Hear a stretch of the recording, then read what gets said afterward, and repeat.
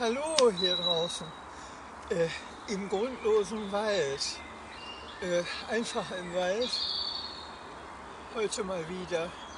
Ja, äh,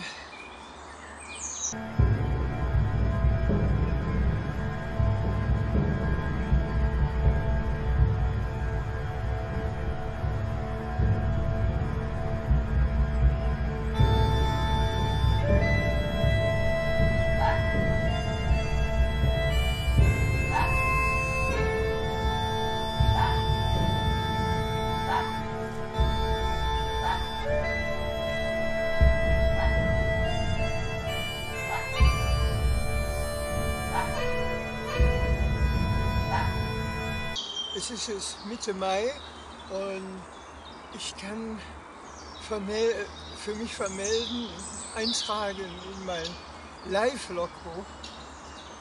Es ist der dunkle, feuchte, kalte, graue Winter endlich über mich hinweggezogen. Er ist vorbei.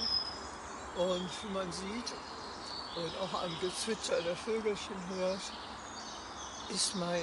Nicht? Vor 14 Tagen haben alle Beltane gefeiert, das uralte K- äh, Fruchtbarkeitsfest, was selbst 2000 Jahre Christentum nicht klein gekriegt haben.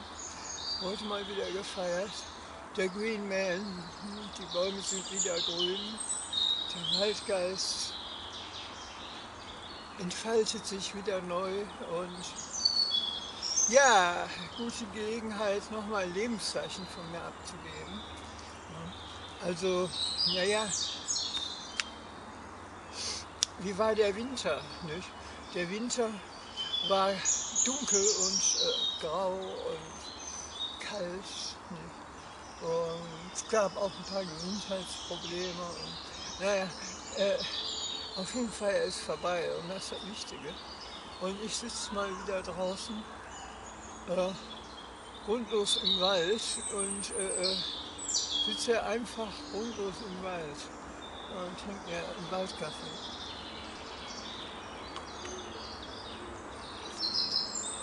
Ja. Tja, äh, anlässlich dieses schönen Tages will ich dann weil ja momentan irgendwie alles, was äh, sich irgendwie im Auto dreht, davon spricht. Nicht? Auch mal, auch noch meinen Senf dazugeben zum äh, Seven Forest Wild. Alles spricht nur noch von äh, dem großen Geschäftsmann Fritz Meinecke, dem äh, Seven V als Wild-Erfinder und äh, Ex-Frontsoldat, der jetzt auf Media Productions umgestiegen ist und äh, eben äh, äh, in aller Munde. Es kommt auch noch eine dritte Staffel.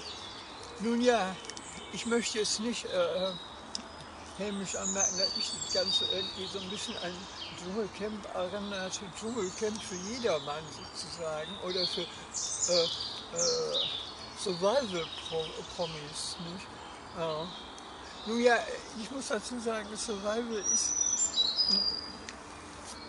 wenn man mal so sieht, Outdoor, ist, werden zwei Sachen darunter zusammengefasst, ne? oder drei, ne? äh, Trekking, Bushcraft und natürlich Survival, aber es- äh, das sagen alles drei absolut nicht miteinander vergleichen, äh, vergleichbar. Das ist äh, großer Unsinn. Ne?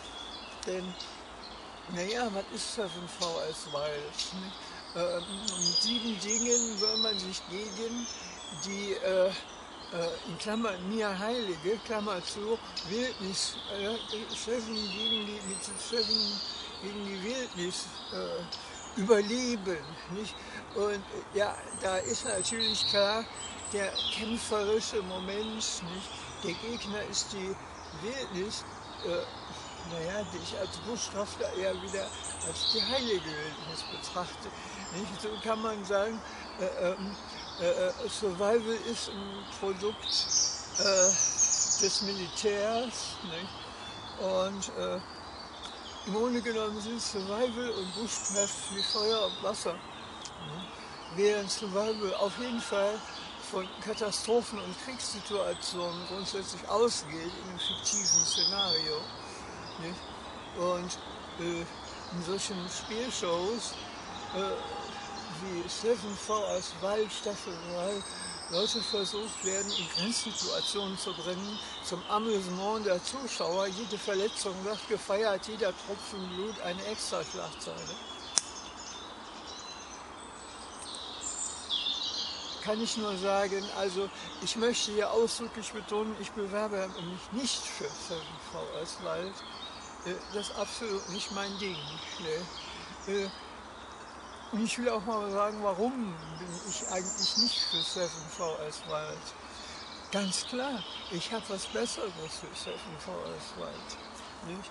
Ich würde mal so sagen, erstens ist der Begriff Bushcraft ja schon sehr alt, der ist ja schon um die um 1910, 20 so aufgetreten, erstmalig. Ne? und, und diesem Toro und so. Ja, wobei der englische Ausdruck Craft oder to craft oder äh, Craft kann vieles sein. Craft kann zum Beispiel auch äh, nicht nur Kunsthandwerk sein, sondern die Ausübung einer Kunst schlechthin. Die kann auch eine Craft sein. Oder äh, zum Beispiel äh, äh, die Ausübung der Wicca-Religion wird auch, äh, oder die Religion selber wird als diese Craft bezeichnet. Nun könnte man, äh, ich lege jetzt diese, äh, als mein Craft äh, die Lebenskunst auf. Lebenskunst oder eben halt im gegenwärtigen Augenblick sein, im Busch. Ja? Um, äh, tja, ein, wie soll ich das sagen?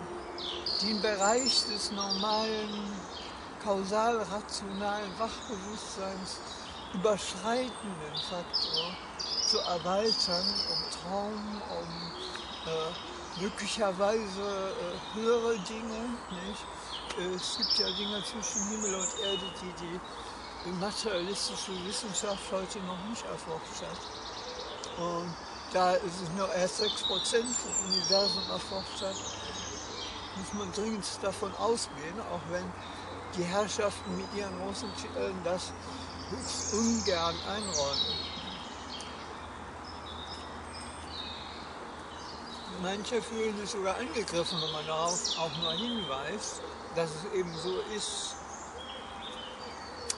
Ja, und also äh, Lebenskunst im Wald ausführen. Ne? oder äh, die Kunst des Seins im Sinne des äh, englischen Wicca-Grußes Blessed Be, ne, gesegnetes Sein im Wald. Ne. Das ist so, was ich gerne so als Buschgott verstehe. Ne. Mir Waldkaffee zu kochen, das ist irgendwie wie ein Ritual. Nicht? Ich verzaubere nicht Mähdplätzchen in den Leib eines vor 2000 Jahren Verstorbenen, sondern ich, äh, äh, äh, naja, mach mir einen lebendigen Kaffee draußen unter dem Laubdach der Bäume und lass mir dazu was von den Vögeln in Ohren zwitschern. Und finde das eben halt alles ganz toll und finde mich dabei ganz so glücklich. Ja,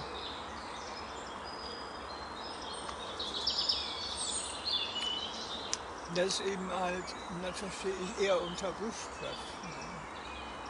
Also man könnte, ich habe was Besseres, wie ich ja eben schon gesagt habe. Man sollte äh, sich mal überlegen, dieses VS wegzulassen. Ne? Man sollte sich vielleicht mal sieben Dinge äh, ausdenken, die man unbedingt mitnehmen müsste, wenn man sich äh, der heiligen Wildnis äh, übergeben will, anvertrauen will, äh, ja, nicht?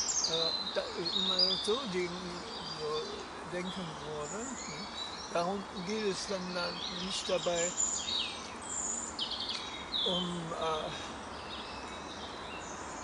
irgendeine Art von Kampf, ne? auch kein Wettkampf, sondern auch kein Wettkampf mit der Natur, sondern der tiefere Sinn der Vereinigung mit der Natur. Äh, nach meiner Theorie stellt ein Waldgebiet nicht äh, eine organisierte Geschlossenheit dar, in der Verschränkung herrscht. Und äh, das hat mir unabhängig davon, ob jetzt ein Beobachter da ist, der diesen Wald beobachtet als organisierte Geschlossenheit oder nicht. Und das hat mir sogar der äh, Dr. Dr. Lukaldu bestätigt. Klar, auf jeden Fall. Also es klingt sehr plausibel alles.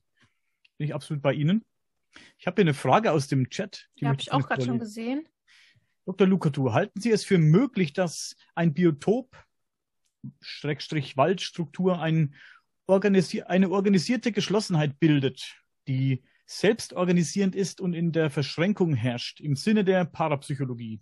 Ich weiß nicht, ob Sie jetzt genau verstehen, ja, was gemeint ist. Ja, absolut. Äh, das ist durchaus möglich. Gut sein könnte, äh, dass es sich bei einem Biotopenwaldcluster äh, um eine organisierte Geschlossenheit handelt.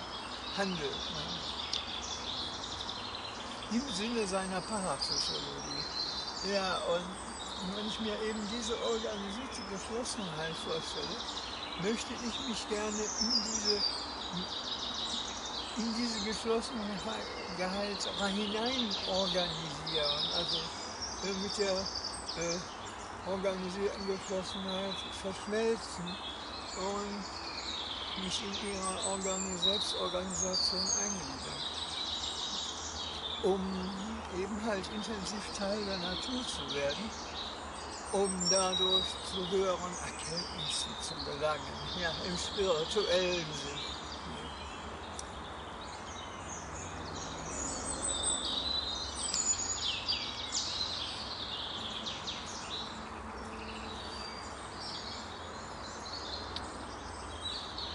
Und manchmal ist es eben halt auch nicht, dass man, dass ich einfach nur in manchen Tagen sich auch einfach nur da und genießt die Freude. Ne? In jedem Moment die Freude am Leben und ja, trink mir meinen Waldkaffee. Ja gut, ich habe äh, nicht mehr allzu viel Batterie auf dieser Kamera, mit der ich jetzt mal probehalber eine Aufnahme mache. Und ja, äh, die Saison hat gerade angefangen. Ne? Alle Blätter sind noch gar nicht fertig ausgewachsen. Und jetzt kriegen wir wieder einen prächtigen Sommer. Und ja, es tut mir also besonders und wahrscheinlich auch allen anderen gut, sich von diesem dunklen, öden Winter zu erholen. Ne? Ja, dann äh, wie gesagt, wünsche ich allen, die meinem Kanal treu geblieben sind oder noch treu werden, eine angenehme Saison im Wald, im Busch. Ne? Und wie gesagt, ne? macht lieber eine schöne Overnighter-Tour in den Frühjahrswald ne? und fange ich mit irgendwelchen Dschungelcamp-artigen Survival-Spielchen an. Nicht, das ist irgendwie, ich weiß auch nicht, Pfadfinderspiele für Erwachsene oder so, nicht? so ungefähr. Hm. Mit so ein bisschen Dschungelcamp-artigem Thrill. Jetzt hat der gute Fritz Meinecke ja auch noch äh, eine Media Production GmbH mit noch einem Medientyp zusammen gegründet und ich wette, die Tür, aber ich möchte nicht wissen, wie die achte und die neunte Staffel von Seven VS Wild aussieht. Das ist ja erst die dritte. Da wird er sich jetzt versuchen, eine goldene Nase mit zu verdienen. Ne? Nachdem das jetzt ja nach der Schlappe in Köln und dem Führerscheinverlust mit der S-Klasse und da drin wohnen nicht mehr so ganz klappt bei unserem Glücksritter. Gut, also wie gesagt, ne, geht ruhig in, halt und trinkt in Ruhe euren Waldkaffee. Äh, man muss nicht unbedingt an irgendwelchen Survival-Spielen teilnehmen. Und äh, mir genügt Buschkraft.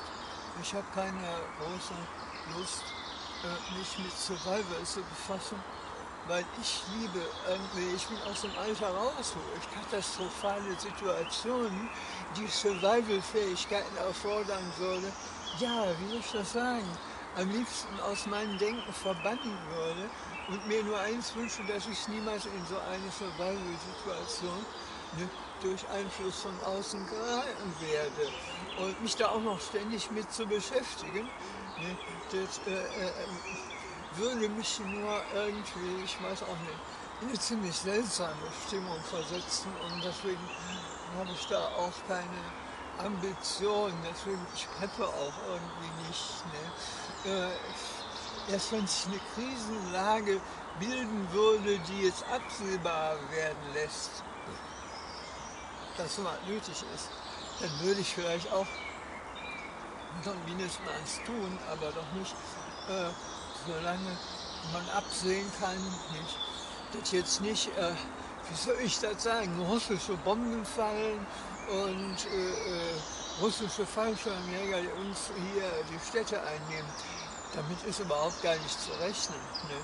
Man ist ja schließlich nicht mehr die Sowjetunion, die den Kommunismus einführen will, sondern es ist ja primitiver, profaner Handelskrieg, leider, muss man ja wirklich sagen. Und ich da auch überhaupt nichts mehr von hören. Ne? Um Handelsrouten sind auch schon Kriege geführt worden und jetzt haben wir das auch wieder. Und ich will mich nicht ärgern, was mir kein Wort mehr darüber. Lieber noch einen Waldkaffee machen. Ne? Und ja, ich wünsche euch allen irgendwie eine richtig schöne Saison. Ne? Schöne, äh, angenehme, glückliche Vereinigung mit der Natur, mit dem tiefen Naturfeeling, kann ich nur allen wünschen. Intensivstes Naturerleben, ne? wie das äh, ist ja nicht von mir, das ist ja von, äh, von Benny Clausen. Äh, ja, ich würde sagen, dann verabschiede ich mich mal für